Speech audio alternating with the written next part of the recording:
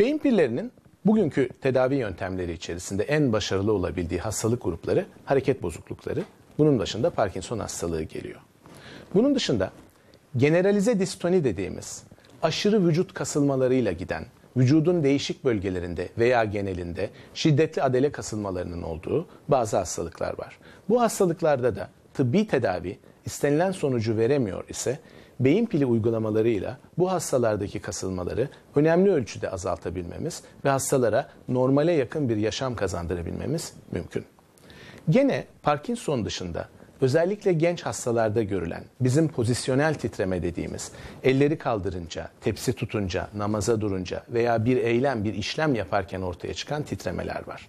Burada titreme tek ve önde gelen problem ve bir işlem yaparken giderek şiddetleniyor. Bu hastalar çay içemiyorlar, yazı yazamıyorlar veya ellerindeki şeyi döküyorlar veya kaşığı çatalı düzgün kullanamıyorlar. İşte bu tip hastalarda da tıbbi tedavi istenilen sonucu vermiyor ise beyin pili ameliyatlarıyla veya diğer bizim yaptığımız başka girişimlerle hastaların titremelerini durdurmak ve normale yakın sağlıklı bir yaşama geri dönmelerini sağlayabilmek mümkün.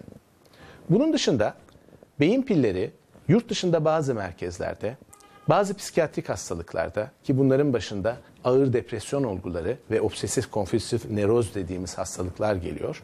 Önemli yarar sağlamakta.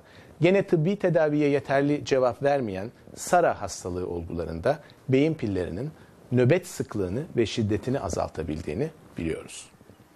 Yıllar içerisinde tünelin ucundaki ışık diyebileceğimiz ama bugün henüz deneysel çalışmalarla sonuçlarını öğrenmeye çalıştığımız bazı olgular var. Bunların başında obezite dediğimiz aşırı kilo sorunları geliyor. E, bu tip hastalarda da iştah merkezine müdahale ederek belki önümüzdeki yıllarda bu son derece ağır, zor iştah kilo kontrolü ameliyatları yerine beyin pili takmak gibi çok daha basit olabilecek ameliyatları gerçekleştirebileceğiz. Gene son yıllarda yapılan bazı çalışmalar hastalarda hafızayı geri çağırabilme şansının olabileceğini, böylelikle önümüzdeki yıllarda belki Alzheimer hastalığı başta olmak üzere hafıza problemi yaşayan hastaların da sorunlarına katkı sağlayabileceğimizi bizlere düşündürmekte. Ancak bu son iki grup için kontrollü çalışmaların sonuçlarını beklemek gerekiyor.